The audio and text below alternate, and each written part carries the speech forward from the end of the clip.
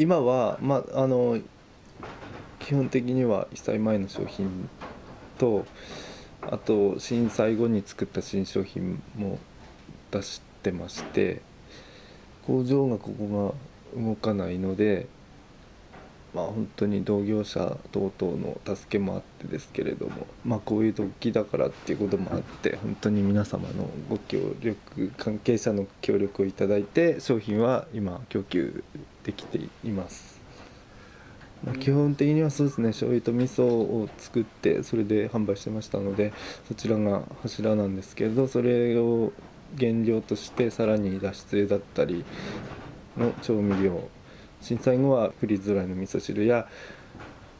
被災企業がコラボしてわかめ用ドレッシングっていうのも発売しましてそういった部分で今頑張っています、はい、共に立ち上がろうという仲間がありましてこちらの方で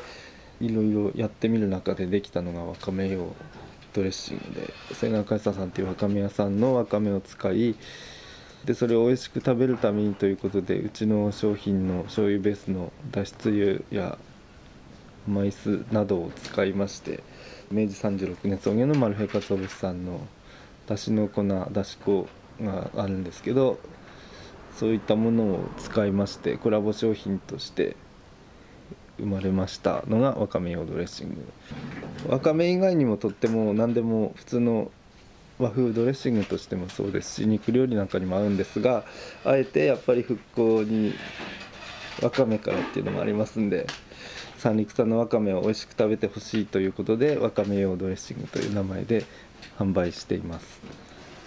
まあ、とにかく前向きに頑張っていくところに光がきっと差してくるだろうというところで